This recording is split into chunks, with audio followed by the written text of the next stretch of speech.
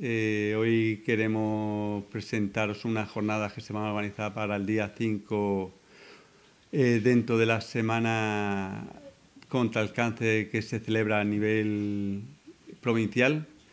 Eh, en esta ocasión el objetivo es presentar las actuaciones que va, la actuación que va a tener en nuestra localidad para ello me acompañan Mari Carmen Soria y Julia Navarro de la Junta Local de la Asociación Española contra el Cáncer.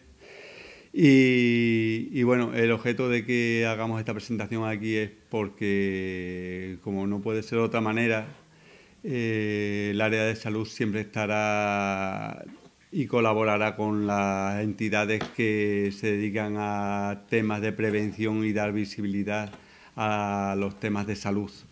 En este caso a todos nos afecta eh, una enfermedad tan, tan, tan preocupante, tan no tiene calificativo, así es que me lo ahorro, eh, que, no, eh, como es el cáncer. Em, nos van a explicar ahora mismo, en este caso, qué es lo que se va a tratar aquí en Linares y, como ya os comento, el objeto, como siempre, es dar visibilidad y, sobre todo, ayudar a que en la medida que sea posible, eh, adquiramos hábitos saludables que nos ayuden a prevenir eh, el que esta enfermedad no nos pueda sobrevenir. Así que si eh, en alguna manera es posible evitarlo, para eso estaremos siempre y en lo que estamos. Local estamos encantados de contar con asociaciones o entidades tan proactivas como esta y os invito a que el próximo día 5 a las 7 de la tarde acudáis al Pósito a escuchar esta conferencia para, con el objeto de informar sobre el cáncer de cervix, porque como se decía hace unos años, eh, y es lo que pretendemos desde aquí, la información es poder, eh, en este caso es poder prevenir y poder evitar que, que un mal tan, tan nefasto como este del cáncer nos pueda atacar. Eh, van a darse pautas de, mm, para que se tengan en cuenta a la hora de prevenirlo y yo creo que a todos nos vendrá. Una vez más, la Asociación Española contra el Cáncer os agradece vuestra colaboración como periodistas. Mirad, eh, alguna vez he dicho ya que la Asociación Española contra el Cáncer tiene tres cosas importantes que hacer. Una, prevenir y concienciar sobre el cáncer. Otra, acompañar a los enfermos y a sus familias. Y por último lugar, y importantísimo, dedicar todos sus esfuerzos y todo el dinero que puede a la investigación. Entonces, como la primera es prevenir e informar, es lo que vamos a hacer el, día, el martes día 5, martes, sí, día 5, a las 7 de la tarde en el Pósito, en, el, en la sala de exposiciones y congresos del Pósito, se va a dar una conferencia. Esta conferencia se ha elegido por varios motivos. Eh, el primer motivo porque la incidencia del cáncer de cervix está creciendo. Entonces es un poquito preocupante y se ha elegido esta conferencia para informar. Mirar, el, cáncer de cervix o cáncer de cuello de útero, que la gente lo entiende más así, es la tercera causa de muerte por cáncer a nivel mundial. Pero, así como en países en vías de desarrollo son el 85% de los tumores que son muchos, son de cáncer de, de cervix por encima del cáncer de mama, en nuestro país y en los países desarrollados son el 3,3% de incidencia. Pero ¿qué pasa? Que la falta de información parece, parece que es eso, está favoreciendo el que ahora en nuestro país está subiendo un poquito estos índices. Entonces, este cáncer tiene una ventaja sobre otros y es que se puede prevenir. Se puede prevenir, sobre todo, por supuesto, yendo al, médico y teniendo eh, periódicamente, eh, periódicamente, que puede ser una, una vez al año, eh, sobre todo mujeres, cuidado, y hombres. El cáncer de, de, cervix tiene mucho que ver con la transmisión sexual de un virus que es el papiloma que se considera esencial para desarrollar la enfermedad. El papiloma lo tienen tanto mujeres como hombres. ¿eh? pero luego mi compañera Julia os explicará eh, cómo se puede prevenir este, este, este virus. Hay una cosa que se está notando a nivel general y es que ha aumentado el número de mujeres fumadoras. ¿Eh? Y cuando son portadoras de este virus, el tabaco ayuda y favorece el que se salgan tumores.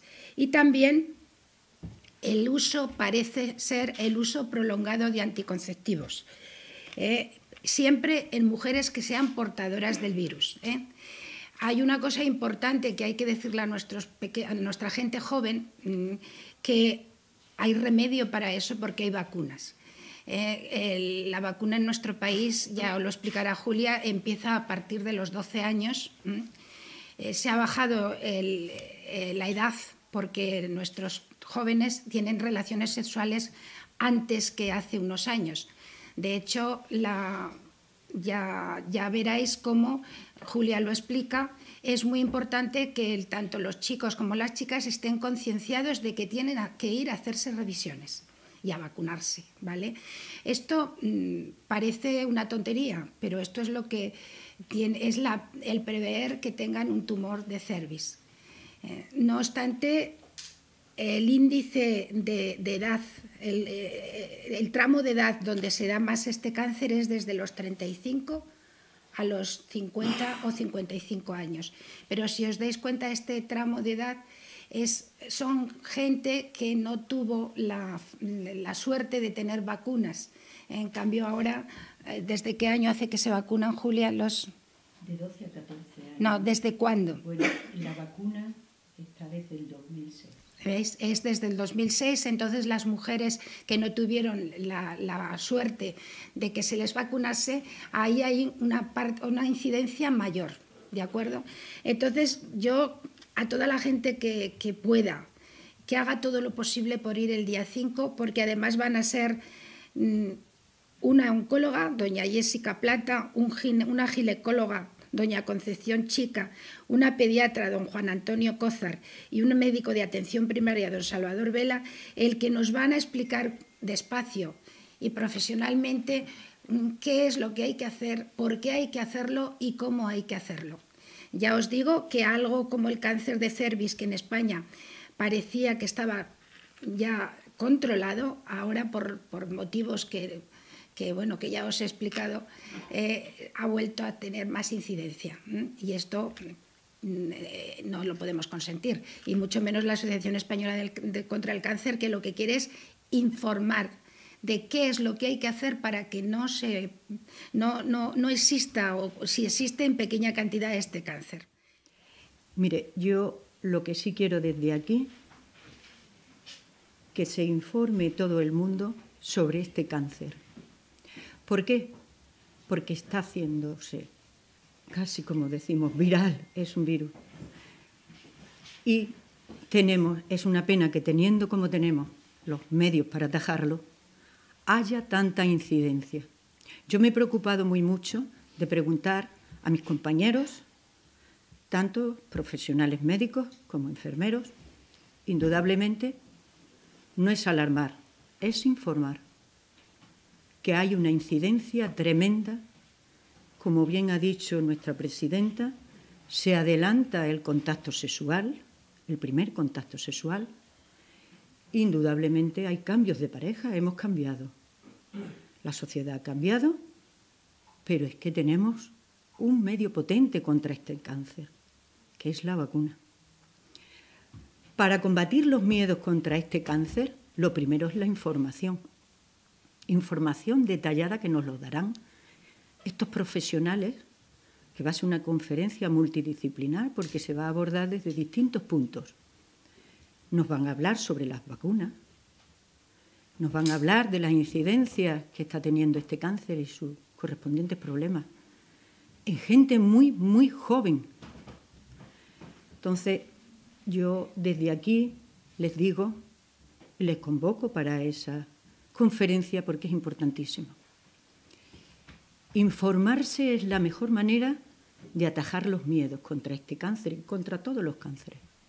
La información. Pero la información desde donde tiene que estar, desde profesionales, no el boca a boca.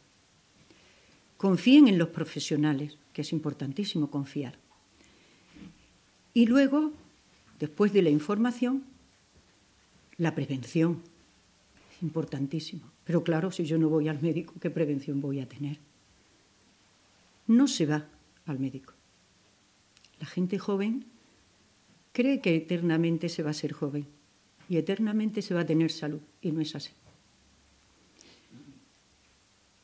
Yo, eh, la verdad es que me he sorprendido que este cáncer esté teniendo tanta incidencia.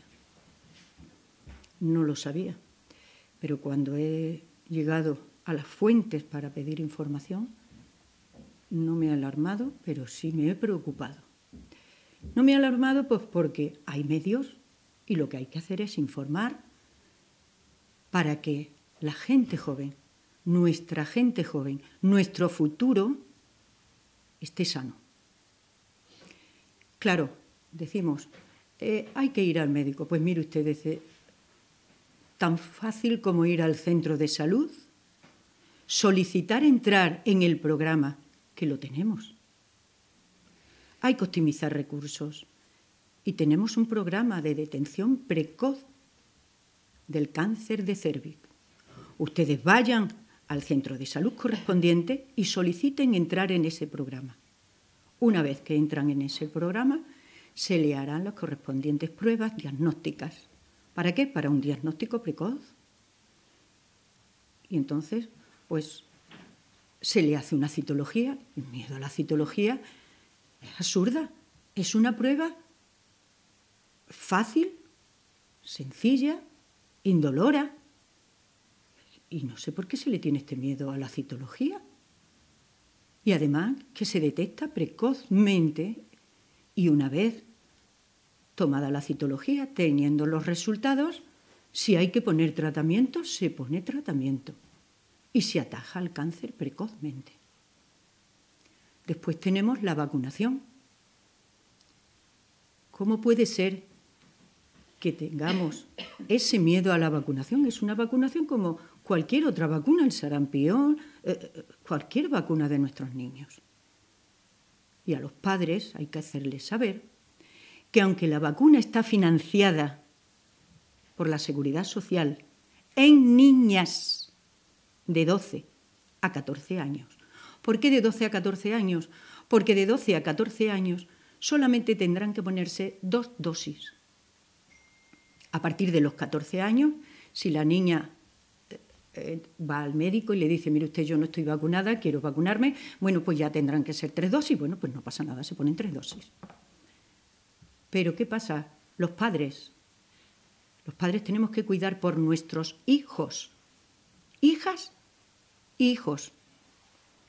El que esté financiada esta vacuna solo para las niñas no quiere decir que sea la causante de este mal no es la causante, es la afectada, es la que lo padece, pero lo transmite el niño, el varón.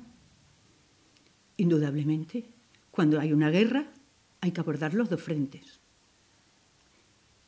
Poco importa que se esté financiando solo la parte principal, la que lo padece, indudablemente, hay que atajar a la persona más débil, afectada, la mujer. Pero poco nos sirve si no atajamos al causante. Yo sé de padres y de hecho compañeros que he hablado con ellos, están vacunando a sus hijos. ¿Por qué? Pues porque aunque no esté financiado, la vacuna existe. Y yo quiero tener protegido a mi hijo y a mi hija. Entonces, yo desde aquí, yo no quiero entrar en polémicas Simplemente se informen y actúen en consecuencia. Yo eh, en esto, mm, la vacuna, indudablemente, como le he dicho, el virus del papiloma humano se descubrió, fue el gran avance de la medicina, con premios. Y eh, la vacuna, eh, nosotros quizás 2006, 2008, escasamente 12 años más o menos. Entonces, claro, todos los anteriores están sin vacunación. Pero eso no quiere decir que no se puedan vacunar. Infórmense, vayan a su médico y pregunten su perfil, verán, lo estudiarán el caso, sabrán y le asesorarán adecuadamente sobre las posibilidades de la vacunación. En esto de la vacuna, la vacuna no hay que tenerle miedo, es eficaz, es segura, porque está demostrado. Y yo solamente les digo que el cáncer, este y cualquier otro, es el enemigo de todos. Esta guerra no es una guerra solo de la Asociación contra el Cáncer, es una guerra de todos, porque es el enemigo de todos y todos tenemos que combatir. Juntos podremos algún día combatir y vencer al cáncer. Yo les digo que unidos venceremos. Si no están en la Asociación Española contra el Cáncer, colaboren con ella, porque el dinero, les digo, que va a buen fin, que es la investigación. Gracias a esa investigación tenemos esta vacuna. ¿Por qué no vamos a tener otras? Colaboren con la asociación en todos sus proyectos, porque yo les digo Llevo muy poco tiempo en la Asociación Española contra el Cáncer, de lo cual me alegro de, tomar esa, de haber tomado esa decisión. Les doy las gracias a toda esta gran familia de la Asociación Española contra el Cáncer en Linares, que es una familia. Me lo han demostrado. ¿eh? Yo les tengo que dar las gracias aquí a su presidenta, desde aquí a todos los que componen esa asociación, extraordinaria asociación. De verdad que me lo han demostrado. No escatiman esfuerzos con qué ilusión llevan todos los proyectos. Indudablemente, si no están ustedes en la Asociación Española contra el Cáncer, colaboren con ella, porque están colaborando a salvar sus propias vidas. Y unidos podemos contra el cáncer. Yo solamente quiero decirles que acudan, porque es importantísimo que se informen.